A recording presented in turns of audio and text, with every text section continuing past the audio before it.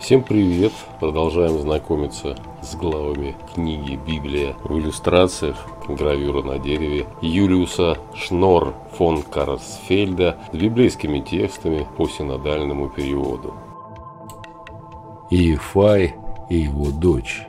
И пришел Иефай к массифу в дом свой. И вот дочь его выходит навстречу ему с тимпанами и ликами. Она была у нее только одна, и не было у нее еще ни сына, ни дочери.